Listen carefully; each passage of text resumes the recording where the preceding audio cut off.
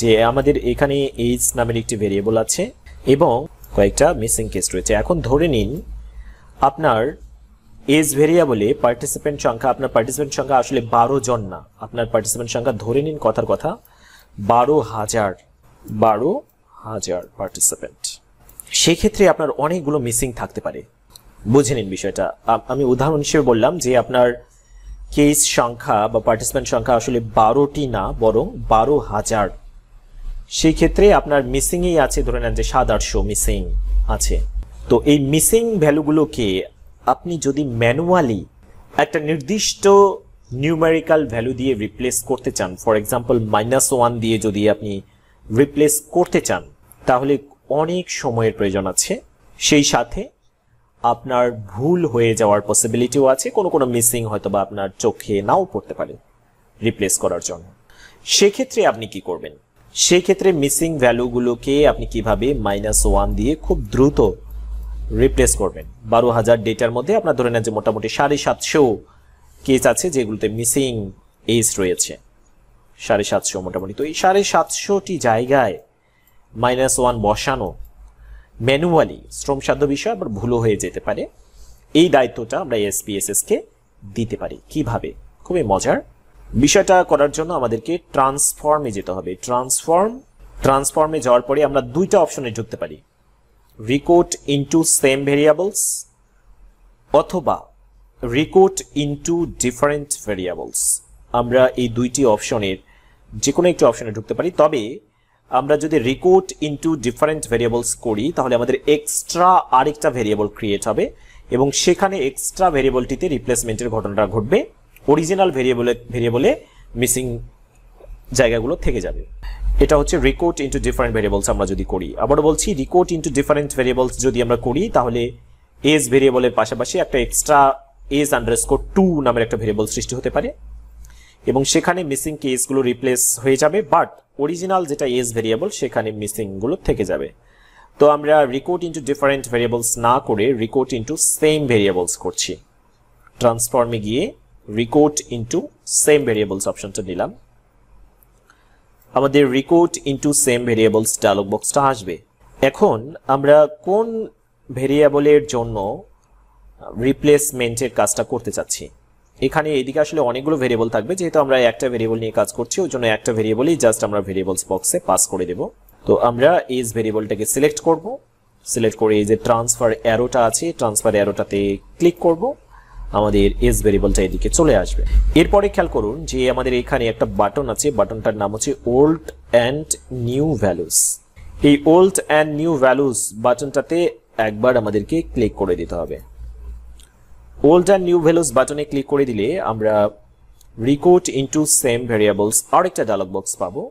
এবং এখানে কি করতে হবে? আমাদের একদিকে ওল্ড ভ্যালুর কাজ করতে হবে, অন্যদিকে নিউ ভ্যালুর কাজ করতে হবে। তো ওল্ড ভ্যালু হিসেবে আমাদেরকে নিতে হবে মিসিং ভ্যালু রিপ্লেস করার জন্য সিস্টেম মিসিং এই অপশনটা নিতে হবে। সিস্টেম মিসিং নেওয়ার পরে মানে যে জায়গাগুলোতে মিসিং কেস আছে, সেই জায়গাটাতে আমরা কি রাখতে চাচ্ছি, সেটা নিউ ভ্যালু হিসাবে আমাদেরকে সেট করে দিতে হবে। ফর এক্সাম্পল মাইনাস ওয়ান বা ট্রিপল নাইন তাহলে এখান থেকে নিলাম সিস্টেম মিসিং আর এখান থেকে নিলাম ভ্যালু মাইনাস ওয়ান এরপর আমাদের যে অ্যাড বাটনটা আছে, এই অ্যাড বাটনটাতে ক্লিক করে দিতে হবে। আমরা অ্যাড বাটনটাতে ক্লিক করে দিলে দেখব যে যেখানে যেখানে সিস্টেম মিসিং আছে, সেখানে সেখানে মাইনাস ওয়ান ঢুকবে। সিস মিস যেখানে যেখানে আছে, সেখানে মাইনাস ওয়ান ঢুকবে। এতটুকুই কাজ।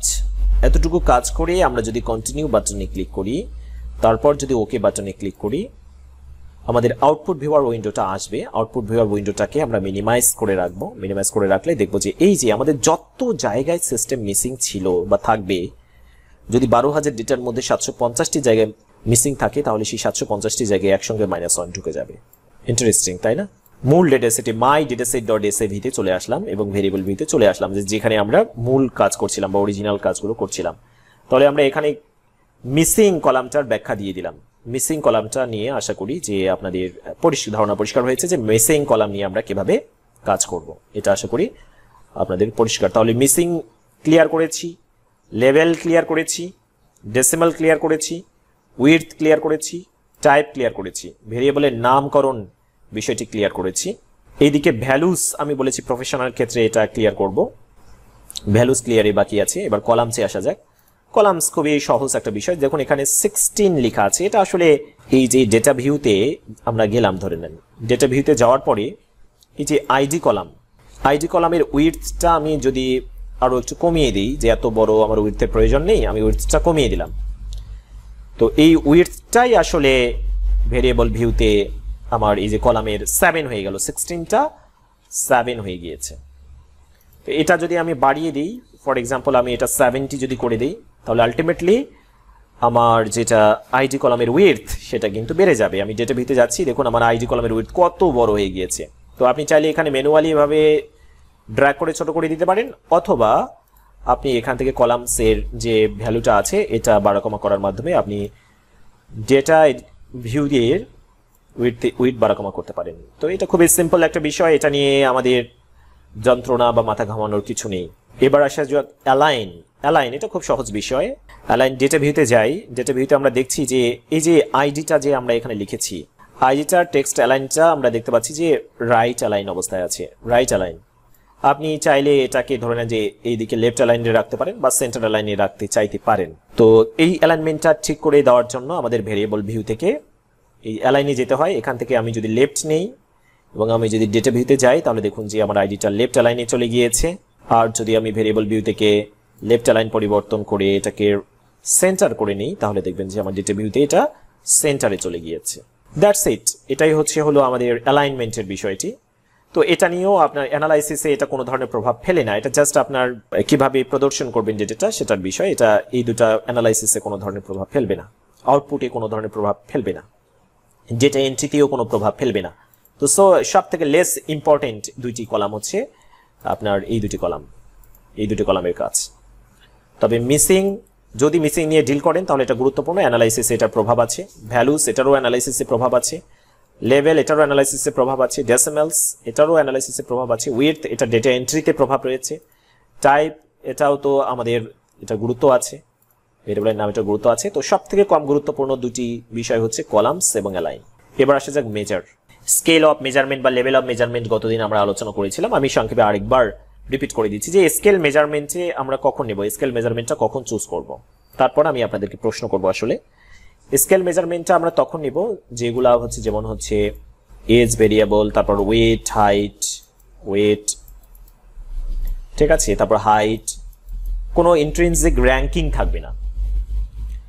স্কেল ভেরিয়েবলে এগুলো সংখ্যা, নিউমারিক কতগুলো ভ্যালু, যেমন অনেকগুলো পার্টিসিপেন্টের বয়স, কারও তিরিশ, পঁয়ত্রিশ, চৌত্রিশ সাঁত্রিশ আটত্রিশ, চল্লিশ, বারো, ষোলো, বিভিন্ন ধরনের এজ ওয়েট কেজিতে। কোনো রেঞ্জ না ক্যাটাগরি না। এগুলো হচ্ছে স্কেল মেজারমেন্টের ভেরিয়েবল তারপর হচ্ছে অর্ডিনাল অর্ডিনাল ভেরিয়েবল ভেরিয়েবলে যেখানে ইন্ট্রেন্সিক র্যাঙ্কিং থাকবে, যেমন লাইকার্ড স্কেলের data for example unsatisfied satisfied neutral highly satisfied highly dissatisfied এই টাইপের এগ্রিমেন্ট টাইপের যেগুলো হচ্ছে ডিসঅ্যাগ্রি অ্যাগ্রি নিউট্রাল এই টাইপের এগুলো হচ্ছে অর্ডিনাল তারপর হচ্ছে high income low income moderate income এগুলো হচ্ছে অর্ডিনাল যেখানে আমরা একটা র্যাঙ্কিং করতে পারব।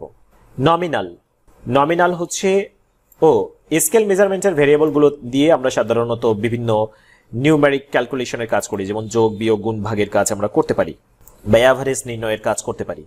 যেমন অ্যাভারেজ এজ আছে অ্যাভারেজ ওয়েট আছে, বা ওয়েটগুলোর যোগফল কি হবে এজগুলোর যোগফল কি হবে। এগুলো আমরা সাধারণত যোগ, বিয়োগ, গুণ ভাগের কাজ স্কেল মেজারমেন্টের ভেরিয়েবলে করি।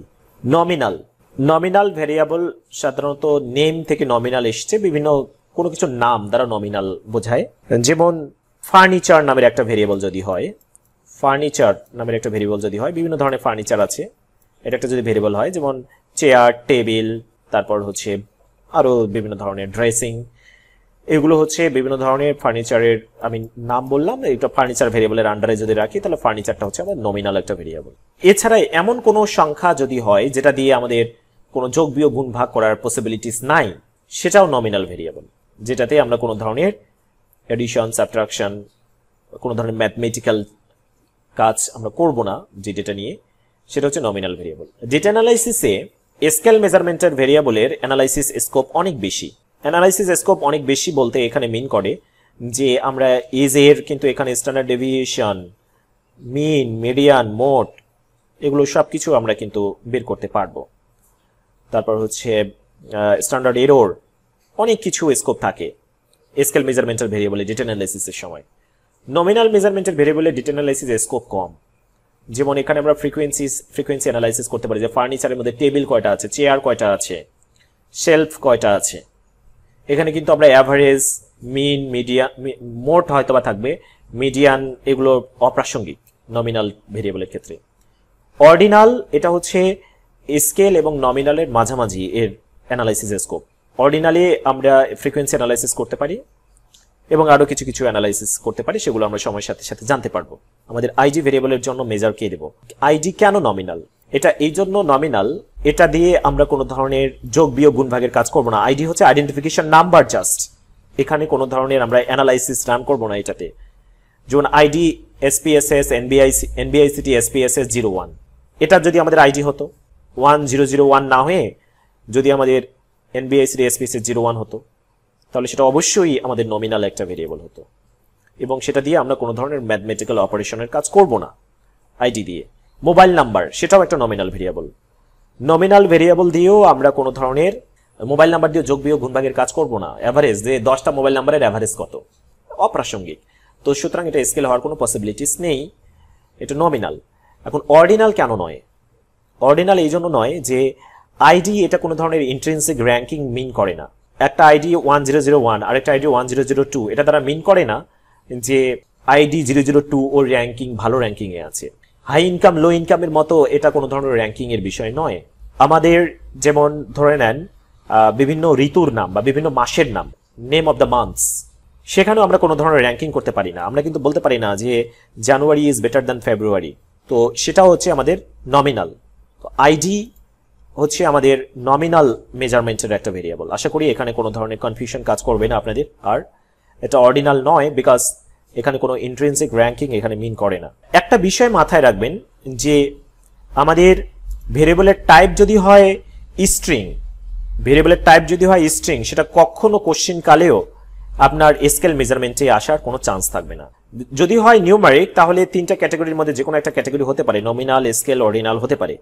বাট ভেরিয়েবলের টাইপ যদি হয় আমাদের ভেরিয়েবলের টাইপ যদি হয় স্ট্রিং তাহলে সেটা কোনোভাবেই আর স্কেল হওয়ার সম্ভাবনা থাকবে না। যেমন আমি এটা স্ট্রিং করে নিলাম। স্ট্রিং করে নেওয়ার পরে আমি এটা ওকে করলাম।